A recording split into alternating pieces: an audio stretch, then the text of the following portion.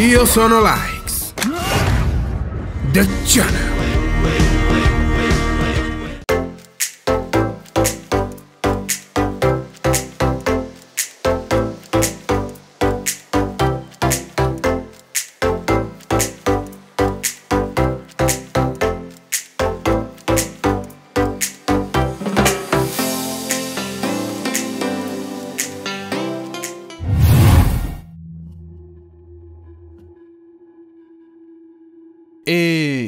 Inutile continuare a sperare o esiste la possibilità che Tony si rifaccia vivo uno di questi giorni nell'MCU?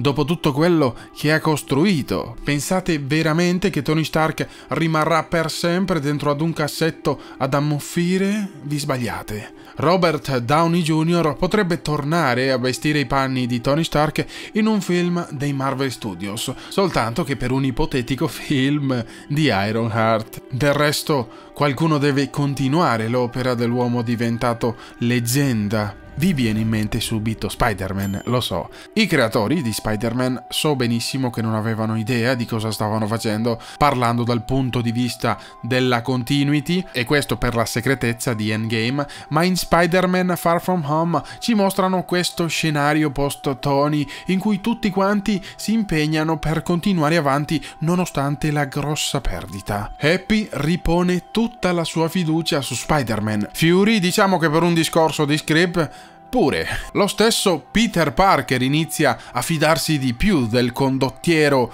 che è in lui. Il film lo propone come il prossimo capo degli Avengers sulla Terra. Ovviamente il castello si è sgretolato per le faide tra studios. Secret Wars, ragazzi. Trattative che spero di cuore, ragazzi, abbiano un lieto fine. Per gli Skrull, per i Giappi, per il Topo e come no anche per il Bimbo Ragno. Per ora la sua salita di livello è stoppata, la sua successione non c'è più perché Spider-Man è fuori. Importante guardate la data di questo video perché quando sarà caricato Spider-Man. Non sarà nell'MCU e mm, spero vivamente che quando starai guardando questo video in futuro le cose cambino, guarda. E un altro personaggio che era in bocca di tutti per via di una scena mancante in Endgame e che potrebbe diventare il prossimo Iron Man è Morgan Stark. Lo sapete, cinque anni dopo lo schiocco di dita, il Guantanos, ritroviamo un Tony Stark molto diverso, con un'apparente pace interiore,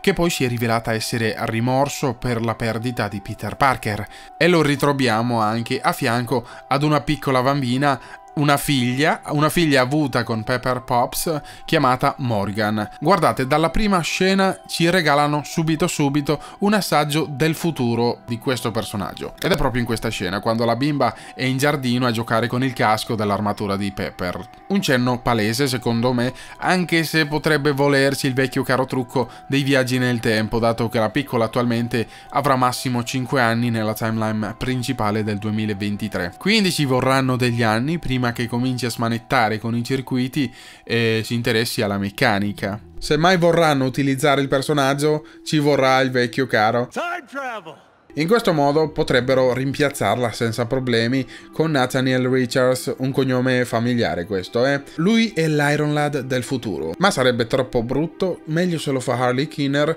perché è lui che secondo me deve diventare Kang il conquistatore, o intrecciare in qualche modo le sorti dei due personaggi, Morgan e Harley, in modo che decodifichino i viaggi nel tempo per tornare al passato. Una volta lì però le loro strade si divideranno e bang, nuovo blockbuster dei Marvel Studios, grazie. e non a caso appunto l'altro candidato che volevo proporre è Harley Keener, ma l'avevate già indovinato, guarda.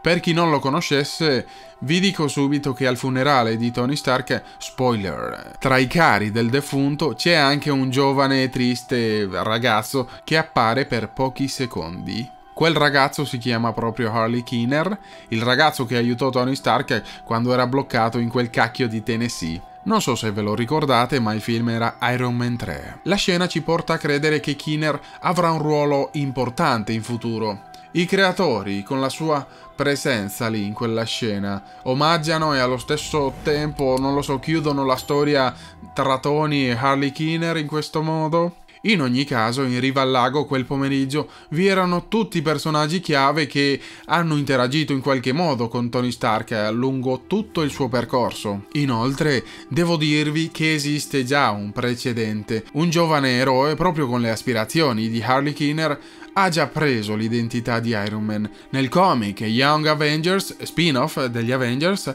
Iron Lad è un giovane supereroe che si ritrova trasportato nel passato a causa di una nuova arma usata dal villain Khan il Conquistatore. Come avrete già intuito, Lad, Nathaniel Richards, è un discendente di Reed Richards. Kang è nemico dei Fantastici 4 e quindi sarebbe proprio il caso di dire 2 più 2 fa 4. Viaggiando indietro nel tempo, si ritrova in un'epoca in cui i Vendicatori sono ormai spariti dalla faccia della Terra. Sperando di fermare la versione cattiva del se stesso futuro, Nathaniel Richards metterà insieme la squadra dei giovani Vendicatori, i Young Avengers, che sono degli adolescenti. Tra i suoi membri, ad esempio, la figlia di Al Ronin e anche la figlia di Scott Lang, Cassie. Lo so, la storia è un po' complessa, lui viaggia nel tempo cercando di evitare un evento accaduto del futuro molto avvincente, sicuramente una storia da scoprire. E poi può darsi che il rapporto tra Kinner e Tony Starr uh, si sia portato avanti per degli anni e noi non ne sapevamo nulla. Dopo Morgan, la figlia di Tony e Harley Kinner, non possiamo non citare Riri Williams. Nei comics, dopo il coma di Tony, Riri Williams eh, diventa Ironheart. Non so se è un personaggio che conoscete, ma i collegamenti tra le pagine dei comics tra Riri Williams e Tony Stark non mancano. I fan della Williams vorrebbero vedere un giorno il personaggio sul grande schermo, sì? Sì, certo. Contateci. Dopo i film e le serie di K Marvel, Kamala Khan, She-Hulk, Jane Foster, Pinco Pallino, perché no? Dite che si sente un figlino il tono sarcastico? No?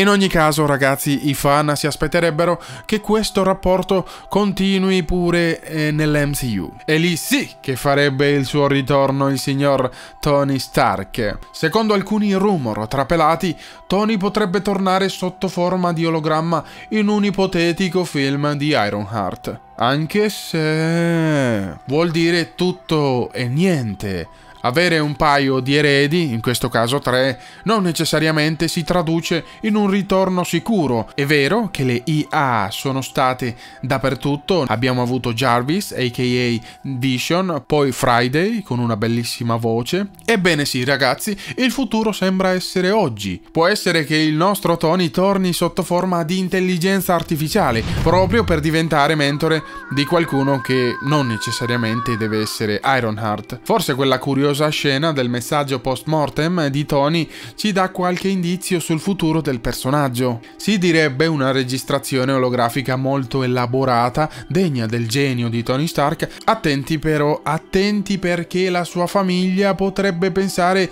che ha caricato la sua coscienza da qualche parte, dal momento che si avvicina alla piccola Morgan con un margine di errore inesistente. Come faceva a sapere che la sua unica figlia, Morgan, era proprio lì, a quell'altezza? Lo so, al cinema eri magari troppo occupato a piangere, ma ti invito a riguardare l'intera scena con attenzione. Ragazzi, Tony Stark ci sarà nei prossimi film Marvel, sarà di colore bluastro, ma ci sarà, per non parlare dei... Time travel! Poi l'universo dei comics è gravido di gente che ritorna in vita, questo si sa. Dai, ti prego, Marvel Cinematic Universe, mettiti alla pari con, con i comics. Cominciamo, guarda, da adesso in poi. Cominciamo con Quicksilver, eh, poi voglio Ultron, poi infine vorrei tu riportassi in vita il mio orgoglio messicano leggendario. Perché ho lasciato al cinema una mezza lagrimuccia quel giorno guardando il film The Endgame. Ovviamente quella di cui vi parlo è un'ipotesi Lumigatti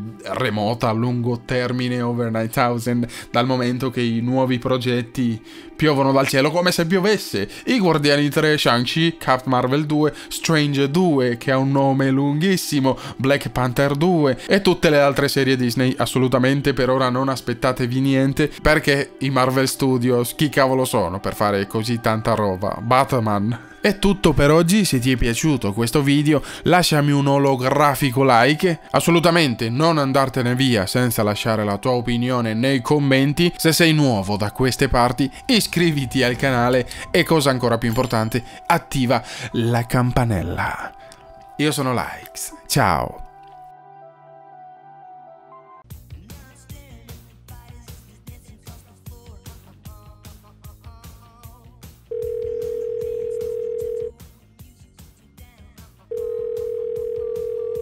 Pronto? Ciao, Pronto chi è? ciao Likes. Sono Batman. Sapevo che questo giorno sarebbe arrivato. Come hai fatto a scoprire che ho in mano l'MCU? Ma che, ma l'ho sparata? Sparo più cazzate di una pistola automatica che spara cazzate. Non c'entra un c***o.